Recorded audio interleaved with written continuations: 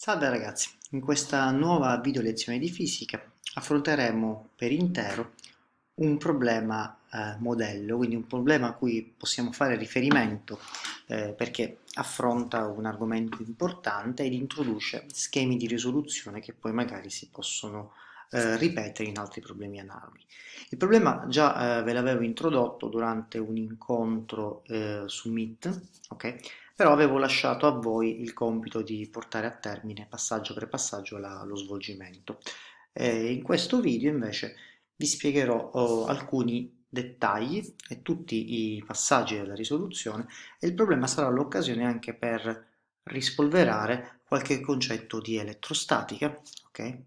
Eh, sul campo elettrico e sul moto delle particelle in un campo elettrico e quindi è un problema interessante perché coniuga il nuovo argomento, cioè la relatività, con l'argomento precedente, quindi credo che sia un esercizio molto importante.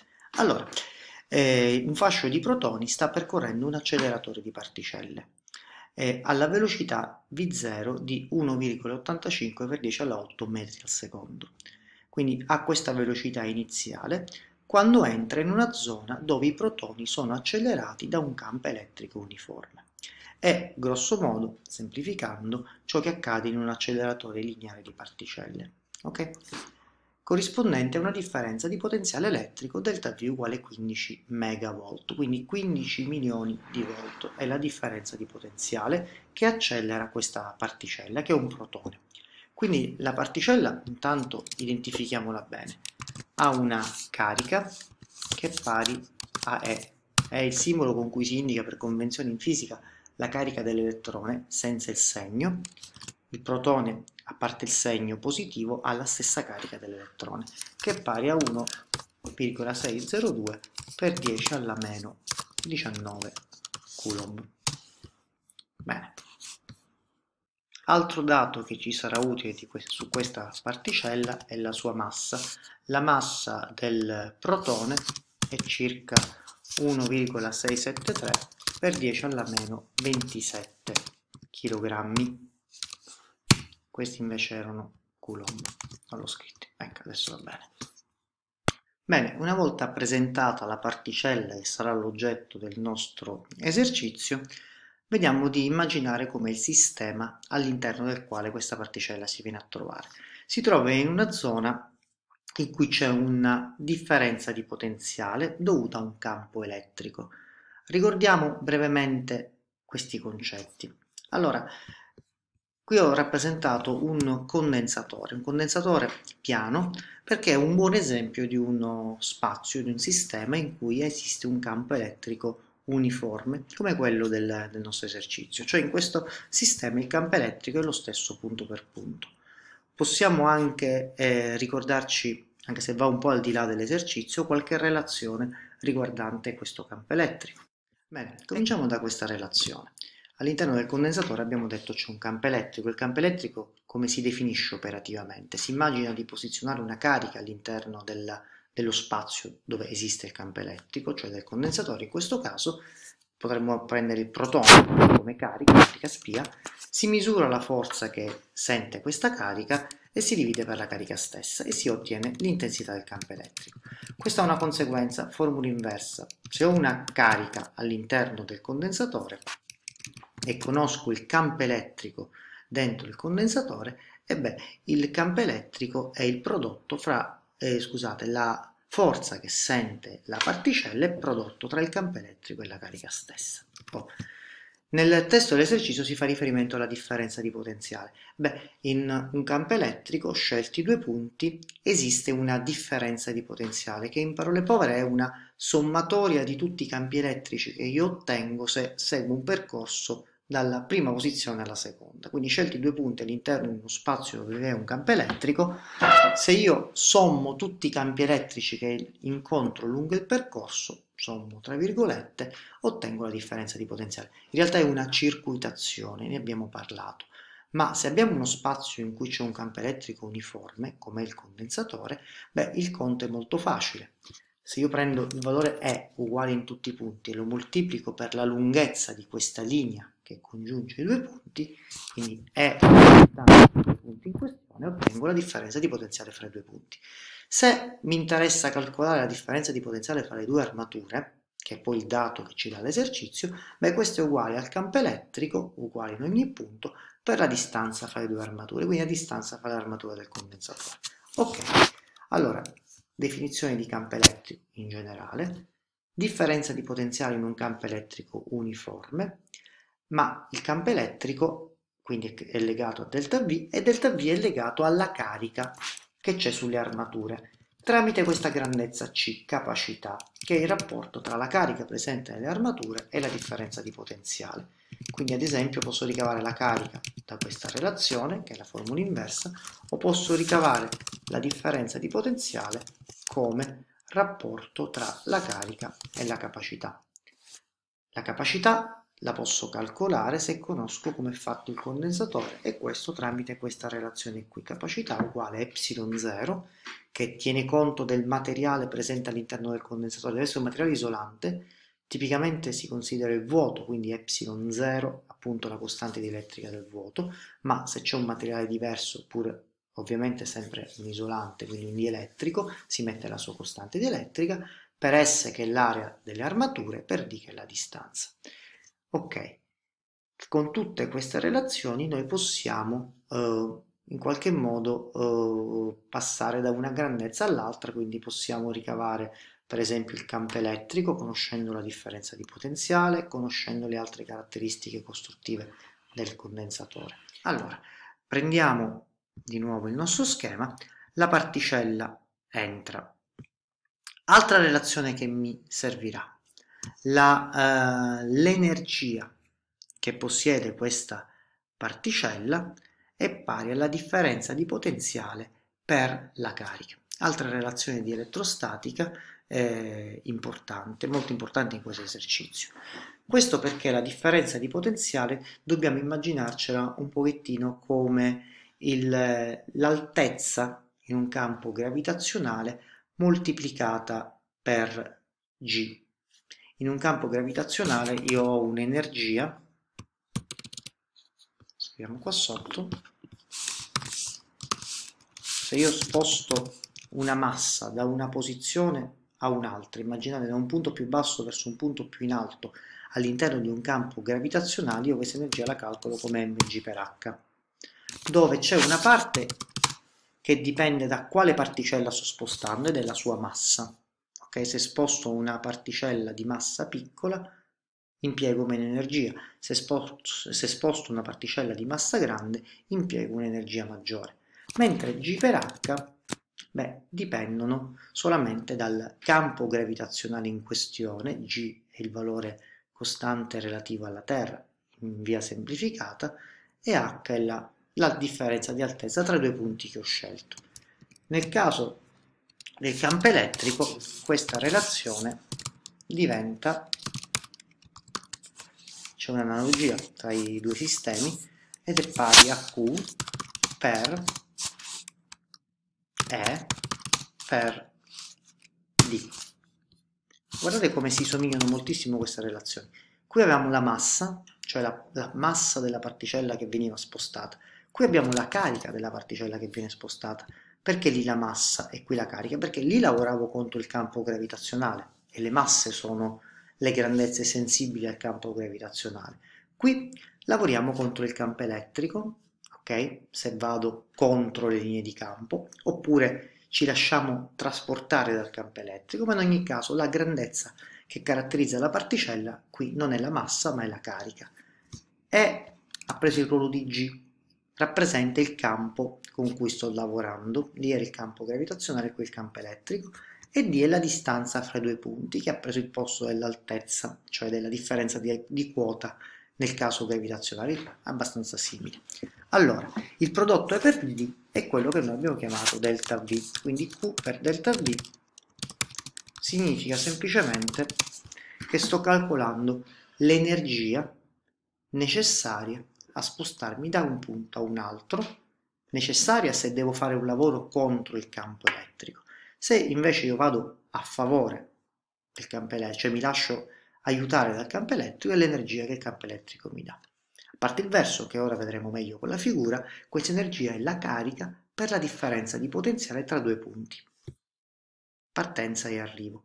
Torniamo al nostro schema. Se io ho la, il protone che inizialmente si trovava all'ingresso del condensatore, entra da qui, qui comincia a sentire l'effetto del campo elettrico e allora si sposterà da qui a qui e quindi da questo punto a questo punto dove c'è una differenza di potenziale di 15 MV, ok? Di 15 MV perché è quella che esiste tra le due armature. L'armatura a potenziale più alta è quella positiva e quella a potenziale più bassa è quella negativa. Quindi devo, creare, devo immaginare che ci sia una differenza di 15, posso crearla come voglio io, non cambia niente. Per esempio qui 0 e qui più 15, ok? Oppure qui meno 15 e qui 0. L'importante è che ci sia una differenza di 15 MV con il più a, a potenziale maggiore. È come se partissimo da un punto a quota elevata e ci muovessimo verso un punto a quota bassa. Ripetiamo l'analogia col campo gravitazionale. Questa particella nel campo gravitazionale verrebbe accelerata. Il campo gravitazionale le dà energia. Okay? Qui il campo elettrico dà energia al nostro protone che va in discesa dal punto a potenziale più alto al punto a potenziale più basso. E questa energia quant'è? Nel caso gravitazionale la calcolerei come m per g per la differenza di altezza, il dislivello fra i due punti. Nel caso elettrico la calcolo come Q, che ha preso il posto di M, carica, per E, che è il campo elettrico, che ha preso il posto di G, per la distanza tra i due punti, che ha preso il posto della differenza di altezza, da qui a qui. Solo che energia per distanza, eh, scusi, campo elettrico per distanza, questo prodotto, ok, lo chiamiamo delta V, quindi Q per delta V. Allora questo è il motivo per cui nel libro di testo questo esercizio inizia dicendo che la differenza di energia è pari a delta V per Q.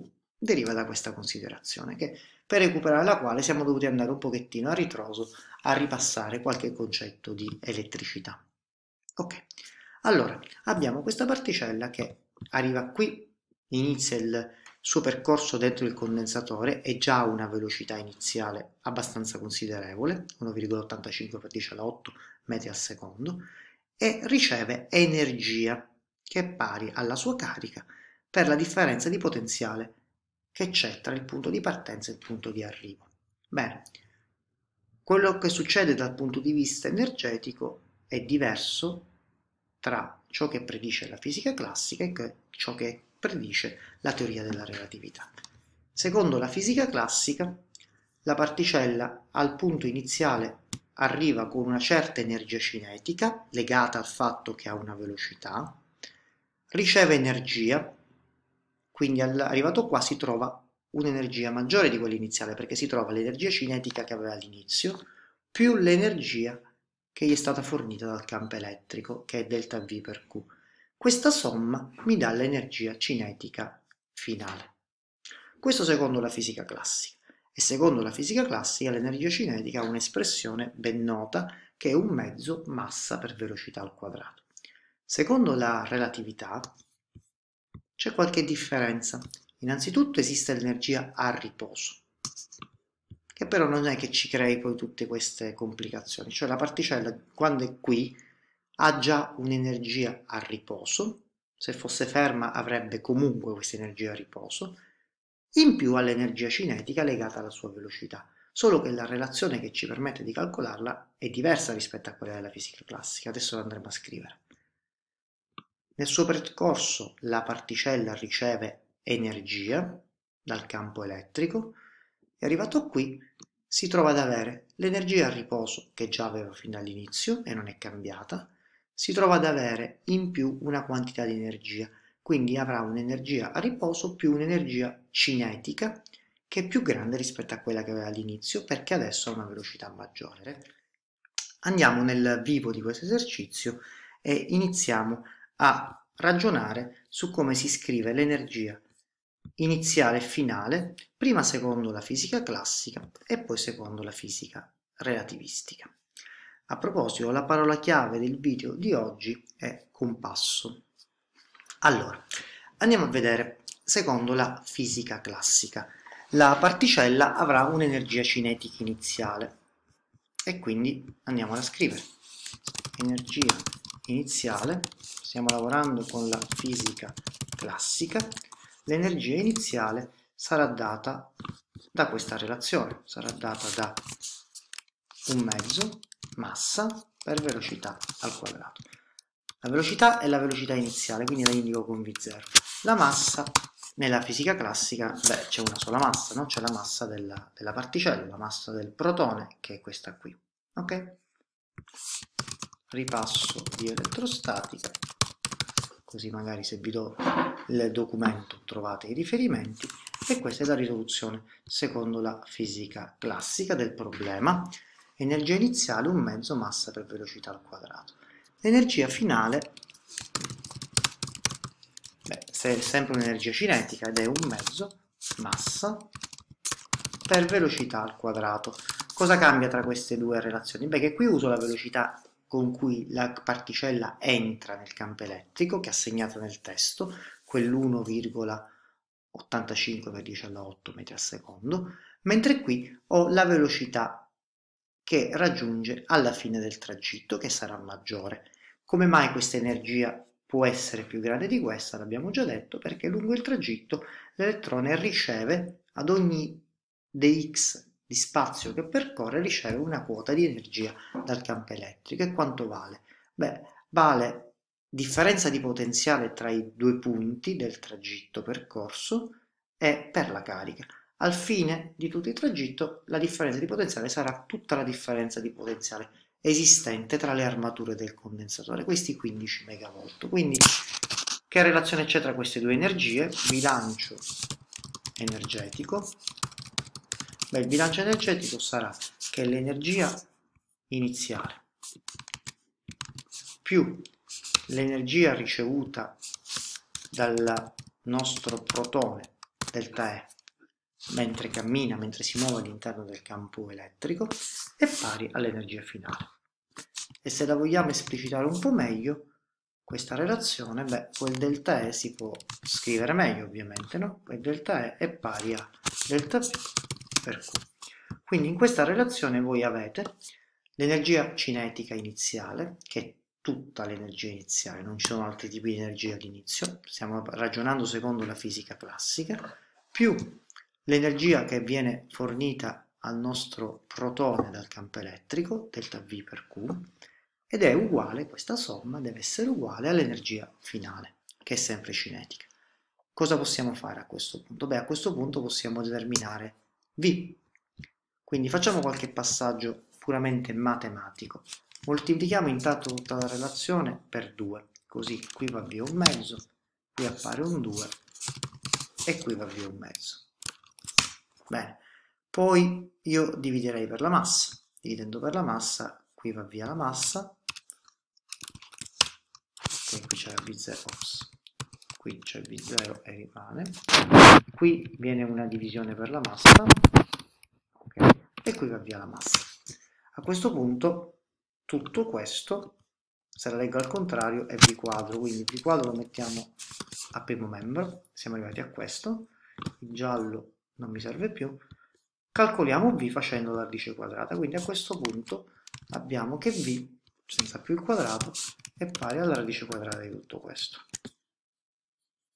Andiamo a mettere in equazione e mettiamo una radice quadrata. Radice quadrata, radice quadrata, eccola qui. Quindi questo, secondo la fisica classica, è il metodo che devo seguire per trovare la velocità con cui la particella eh, esce dal campo elettrico. Qui non è visualizzata la domanda che era, mosta, era posta subito dopo. La domanda è determinare l'incremento di velocità subito dalla particella. Quindi se adesso determiniamo la velocità finale della particella, ok, facendo la differenza v meno v0 risponderemo alla domanda.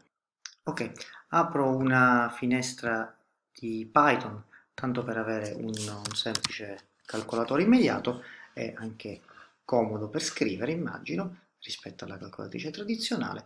Allora, calcoliamo questo risultato facendo la radice quadrata di V0. Allora, V0, diamo il dato, era 1,85 per 10 alla 8. Ok, altri dati che mi serviranno, o qui o fra poco, Q uguale a 1.602 per 10 alla meno 19, utilizzo sempre unità di misura di base del sistema internazionale, la massa è 1.673 per 10 alla meno 27 kg. Ok, una volta immessi i dati, V lo calcoliamo facendo radice quadrata di V0 al quadrato, ok, più 2 per delta V che è 15 mega, quindi 15 per 10 alla 6, ok, per Q diviso M. Vi risulta questo numero qui, ce lo facciamo scrivere in maniera un pochettino più, eh, più simpatica, più formattata, quindi V ce lo facciamo scrivere con due cifre dopo la virgola in notazione esponenziale, è 1,93 per 10 alla 8 quindi questo facendo bene i calcoli risulta 1,93 per 10 alla 8 ok metri al secondo.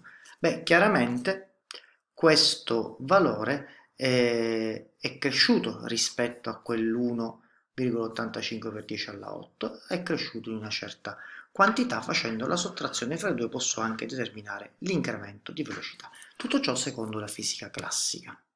Bene, vediamo cosa cambia secondo la relatività. Beh, secondo la relatività, innanzitutto abbiamo diverse espressioni per l'energia e vi ricordo che tutte queste relazioni hanno bisogno del parametro gamma, ok? Che è il gamma di Lorentz che ha questo significato, è 1 fratto radice di 1 meno beta. Beta al quadrato ok? Dove beta ricordiamolo è il rapporto tra la velocità e la velocità della luce ok? Queste due relazioni ci serviranno.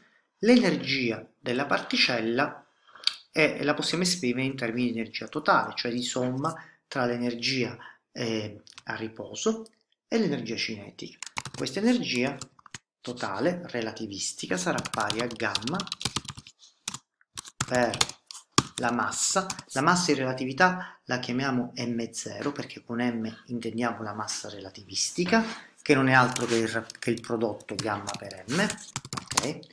e il tutto per la velocità della luce al quadrato che è una costante. La parte variabile in questa espressione attenzione, è gamma. Ok? Bene. Ok, quindi nel nostro problema abbiamo due situazioni, la particella che entra nel condensatore e la particella che esce. Tra le due situazioni quella che è cambiata è gamma, quindi l'energia iniziale, energia totale relativistica ma iniziale, la calcoliamo usando un gamma che chiamiamo gamma 0 cioè il gamma dentro il quale si ha tramite beta la velocità iniziale, ok? E l'energia finale che ha la stessa espressione ma la calcoliamo usando un altro valore di gamma che è quello corrispondente alla velocità finale. Quindi nell'espressione dell'energia totale relativistica abbiamo due fattori che rimangono fissi, m0 e c, ok? E il fattore gamma che è quello che tiene conto del cambiamento di velocità gamma per m, 0, è, è un prodotto a cui diamo il nome di massa relativistica, ma la massa vera della particella è quella a riposo m0. Direi di lasciarla scritta in questa forma e allora scriviamo il bilancio energetico. Nel caso eh, classico il bilancio energetico ci diceva che l'energia cinetica iniziale più l'incremento di energia, quella fornita dal campo elettrico, ci dava l'energia cinetica finale, me lo copio così lo modifichiamo così osserviamo meglio le differenze. Dobbiamo scrivere che l'energia totale relativistica iniziale, quindi gamma 0 m0 c quadro. Ricordatevi che c'è gamma 0 perché c'è il gamma, il fattore di Lorentz, calcolato con la velocità iniziale. ok? Più delta E, variazione di energia dovuta al campo elettrico, che poi abbiamo scritto come delta V per Q, se ricordate, uguale all'energia totale finale, quindi gamma per M0 per C quadro.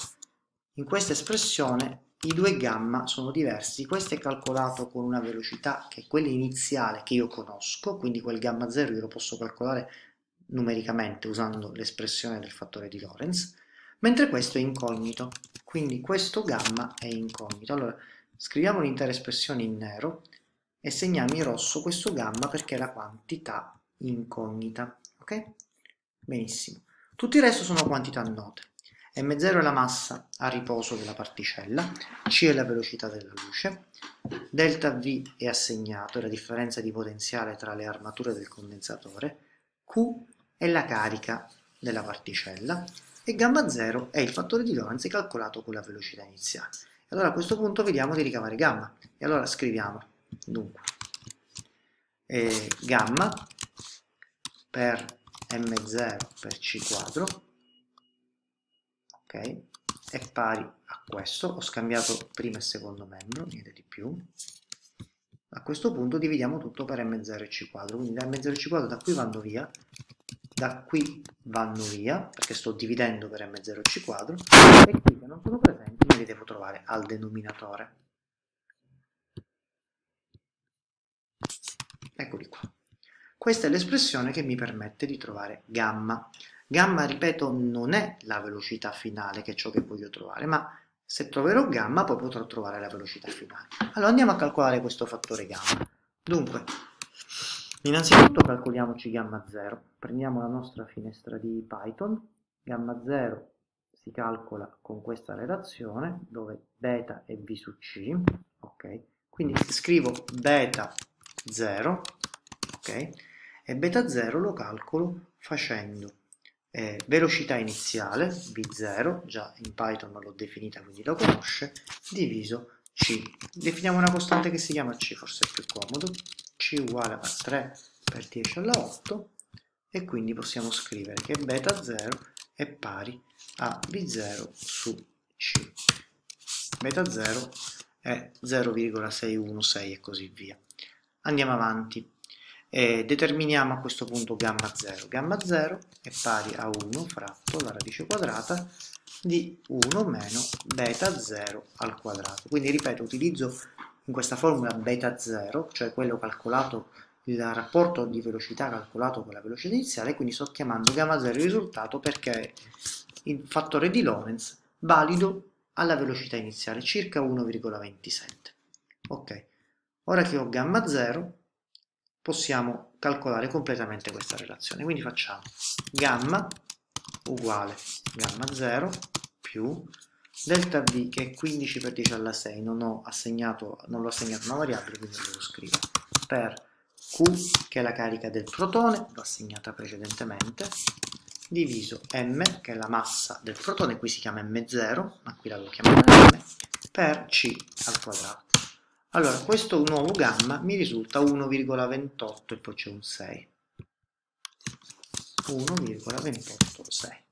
Ok, a questo punto da gamma mi devo trovare beta e poi da beta troverò la velocità.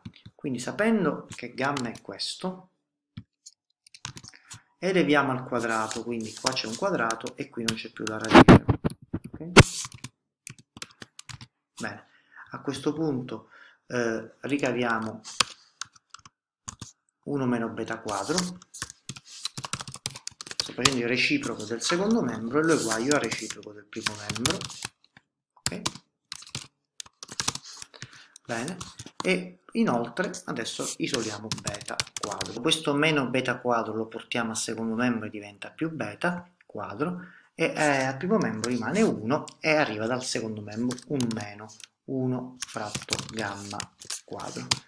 Quindi abbiamo questa espressione per beta quadro e quindi scriviamo sotto l'espressione finale, quella che mi dà beta, quindi beta è pari alla radice quadrata di 1 meno 1 su gamma quadro. Allora, andiamo a calcolare questa espressione, usiamo di nuovo il calcolatore Python, gamma è già memorizzato, e gamma, eh, sì, esatto, quindi scriviamo che beta è pari alla radice quadrata di 1 meno 1 su gamma al quadrato. Allora, beta risulta 0,62. Se voglio la velocità eh, esatta, la velocità espressa in metri al secondo, basta ricordare la definizione di beta. Beta è pari a v su c, quindi v è pari a beta per c. quindi se io adesso moltiplico questo beta per c trovo la velocità che è pari a questo numero me la stampo in forma un pochettino formattata lo facciamo punto 2e cioè significa due decimali in notazione scientifica.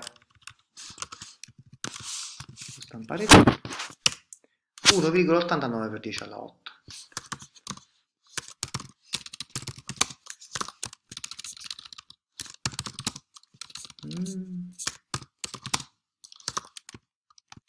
alla 8 metri al secondo. Quindi rispetto alla previsione della, eh, della fisica classica, che mi diceva che la velocità passava dagli 1,85 per 10 alla 8 metri al secondo iniziali a questi che sono 1,93 per 10 alla 8, quindi da 1,85 a 1,93. Secondo la fisica classica l'incremento è più modesto, arriviamo a 1,89, da 1,85 a 1,89. La cosa ha senso perché secondo la relatività la massa della particella, la massa relativistica, cresce al crescere della velocità, quindi la particella viene accelerata dal campo elettrico, ma più acquista velocità, più cresce la sua massa. Sappiamo che al crescere della massa, a parità di forza, l'accelerazione diminuisce, quindi maggiore è la velocità acquistata dalla particella, maggiore è la sua inerzia, ovvero la sua resistenza ad acquistare nuova velocità e quindi c'è un incremento di velocità minore. Questo è il motivo per cui le particelle non possono raggiungere la velocità della luce perché più si avvicinano a questo limite, più tendono a diventare inerti, cioè a, a porre ostacoli all'incremento di velocità. Quindi mentre secondo la fisica classica non ci sarebbe nulla di strano se trovassi che la particella viene accelerata fino alla velocità della luce e anche oltre, ok? Nel caso della relatività questo non può succedere. Bene, per concludere questa lezione assegniamo un esercizio, un problema che sarà molto simile a questo che abbiamo sviluppato qui. Vediamo, abbiamo un fascio di protoni che si trova all'interno di un condensatore piano formato da due armature delle dimensioni di centimetri 10 x centimetri 20 quindi ogni armatura è un rettangolo di 10 cm x 20 cm poste alla distanza di 2 mm tra le quali vi è il vuoto. Vi ho dato i dati sufficienti a calcolare la capacità di questo condensatore. Sapendo che la carica su ciascuna armatura è pari a 10 alla meno 5 coulomb determina il campo elettrico all'interno del condensatore. Beh, se giocate un po' con queste relazioni, non è difficile rispondere a questa prima domanda.